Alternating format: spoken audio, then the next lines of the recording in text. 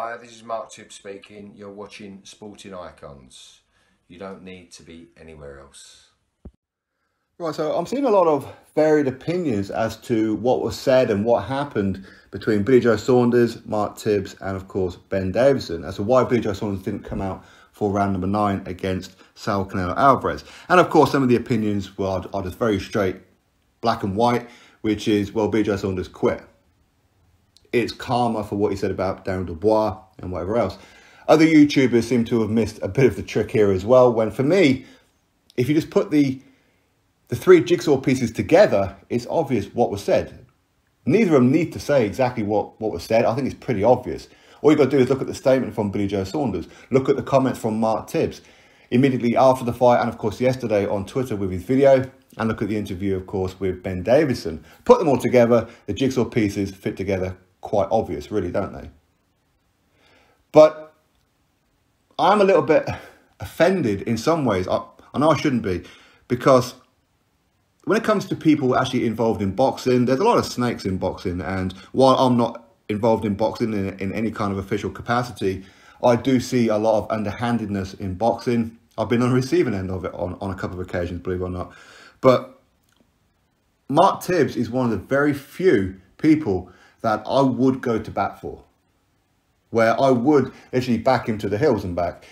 I have a lot of time and a lot of love for Mark Tibbs and quite a few other people as well. Dillian Whyte, of course, and Stephen Robinson, and quite a few other people. And I believe that they all know that. I'm pretty sure that they do. And Mark Tibbs is one of these people that I know Mark Tibbs well enough. Don't me wrong. I mean, we haven't been around to each other's house and had Sunday um, lunch and that together. And I'm pretty sure if I was to go down south and I, and I called up Mark Tibbs and said, can I come into your gym and uh, see you or anything? He'd welcome me with open arms. He'll make me a coffee or whatever it may be. So with Mark Tibbs, when I'm seeing things where people are saying how Mark Tibbs, he pulled the fight on the orders of Ben Davison, that bothers me. Where a decision was taken out of his hand and Mark Tibbs was being the yes man and called, called the fight when he didn't really want to, where Mark Tibbs, he didn't recognise himself that Billy Joe Saunders was in no fit state to continue. That bothers me. It does bother me. And I, and I know it's going to be like a green flag for um, a lot of people to try and troll me as they do with Dillian Whyte and Stephen Robinson and Joe Laws and many, many other people um, I'm involved in boxing, just try and get a rise out of me. But Mark Tibbs will never be the yes man for anybody. Mark Tibbs is experienced himself, being a former fighter himself, being a trainer for quite some time as well. Of course, being the son of legendary um, trainer and of course former fighter in Jimmy Tibbs.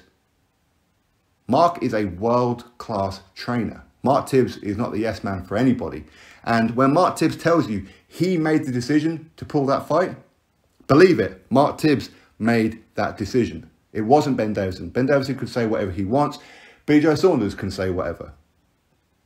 But Mark Tibbs made the decision to pull the fight. Now, I haven't spoke to Mark Tibbs about it all or anything, so I don't have any kind of inside information. But if you look at the statement from Billy Joe Saunders, Look at the comment from Mark Tibbs. Look at the interview from Ben Davison. Put them together, the jigsaw pieces are pretty obvious as to what's happened. In round number eight, Saul Canelo Alvarez hit BJ Saunders with that uppercut. And you could see immediately that something went wrong with the side of the face of Billy Joe Saunders. You could see it immediately. We could see it on TV. Imagine being there in the flesh. As Billy Joe Saunders was walking back to the corner, you could see Mark Tibbs. He's saying something to Billy Joe. Billy Joe, he sits down. Mark continues to say whatever it is that he's saying to Billy Joe. Ben Davison gets in the ear and is speaking to Billy Joe Saunders. Mark Tibbs then says whatever it is he's saying to Billy Joe Saunders. Mark Tibbs calls the fight. Now, if you put them all together, because Billy Joe Saunders, he says that uh, Ben Davison was saying how the fight should be pulled. Ben Davison was saying that he pretty much made the decision to pull the fight. Mark Tibbs is saying that he alone made the decision. Now, when you look at it, Mark Tibbs is experienced enough to know that when Billy Joe Saunders, when he sat down, Mark Tibbs would have already had it in, in his mind that the fight's over. But he wants to give Billy Joe Saunders every opportunity to convince him that this fight's not over. How bad is that injury? Because Mark, he's not a doctor, is he? I mean, he could feel the indentation of the cheek and everything. And while he'd be pretty convinced that the fight is over now and he's already getting ready to throw in the towel on the fight, he needs to give Billy Joe Saunders every opportunity that he possibly can. For Billy Joe to say, it's actually not that bad, it probably looks worse than what it really is, I feel okay. Now, with Ben Davison speaking to Billy Joe, firstly, you have to say, should Ben Davison have really been there, as he wasn't officially part of the team? He wasn't part of the corner team.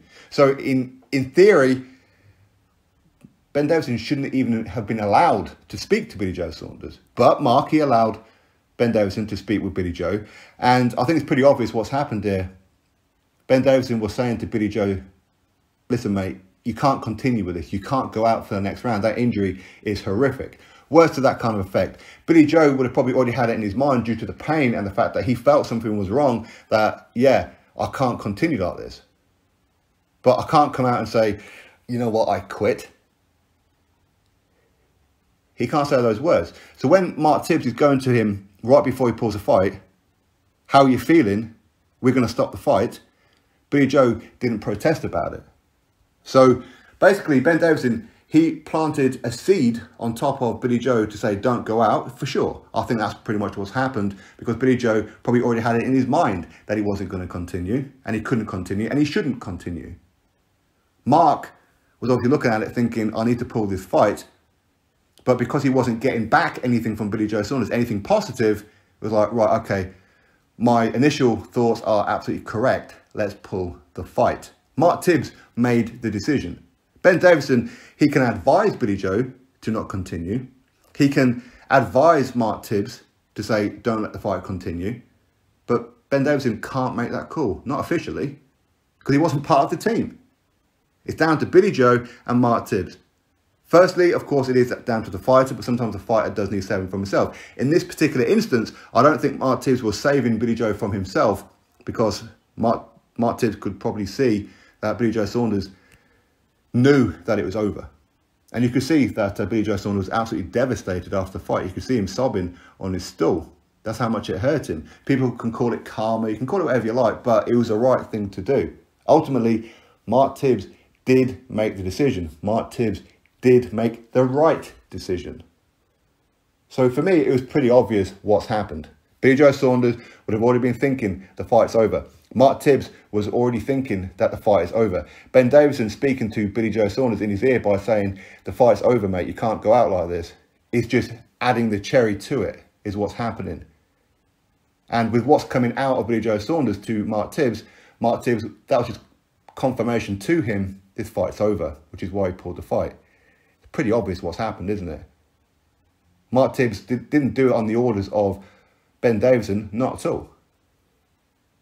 Mark Tibbs is very, very experienced guy. He's a world-class trainer. He made the right decision. And yes, he made the decision.